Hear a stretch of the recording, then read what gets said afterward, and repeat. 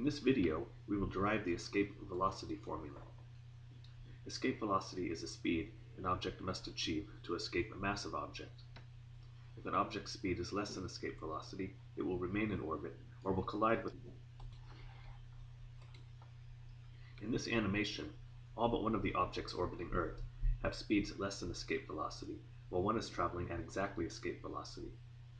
As it distances itself from Earth, it slows down. After an infinite amount of time, it will come to rest at an infinite distance from the Earth.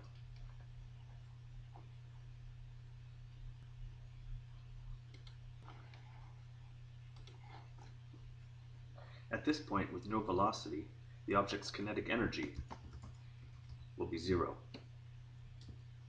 And since we use an infinite distance as our reference for potential energy, this object will also have no potential energy. Therefore, its total energy will be zero. Since energy in a system is conserved, it must be zero everywhere, including at the surface of the massive object. Escape velocity is a speed at any given distance from the center of a massive object, where potential energy and kinetic energy are zero.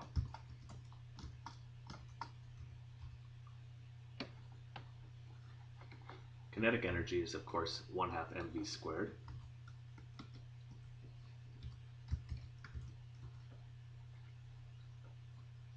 Well, potential energy is negative g big M little m, where big M is the mass of the massive object and little m is the mass of the object doing the moving, divided by the distance from the center of the massive object. Can take this term and move it to the other side of the equal by subtracting it.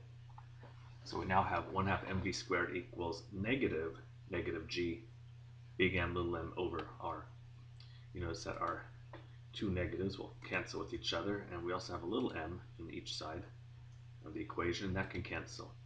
So the object doing the escaping, we don't need to know its mass. We can take this 1 half and cross multiply it to the other side, but it would be more convenient to add it upstairs as a 2. And that gives us velocity squared equals 2gm over r, and of course we're trying to solve for velocity. So we will root, well, we'll square both sides. Now let's take the square root of both sides, and there's our escape velocity formula.